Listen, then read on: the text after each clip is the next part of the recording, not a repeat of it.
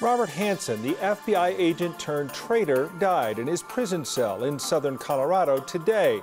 Hanssen had been kept at the Supermax federal prison in Florence since 2002 while serving 15 life sentences for one of the most damaging espionage cases in American history.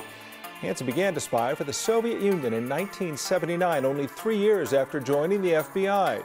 He received $1.4 million in cash and diamonds for information that he gave to the Soviets and then the Russians. He was finally arrested in 2001. The Federal Bureau of Prisons say they found Hanssen unresponsive in his prison cell this morning, tried to revive him but could not. Hanssen was 79 years old.